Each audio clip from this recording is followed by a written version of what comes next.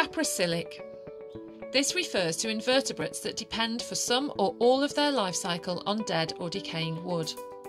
Good examples include stag beetles and noble chafer beetles. In Worcestershire, stag beetles are mostly found in and around Upton upon Severn. Their larvae live within decaying tree stumps or buried wood for up to seven years. They turn the rotting wood into nutrients for plants.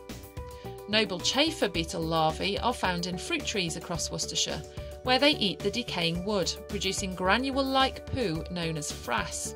The large green adults feed on pollen and nectar.